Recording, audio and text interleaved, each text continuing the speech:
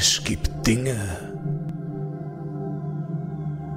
die lassen sich nicht erklären, nur zeigen.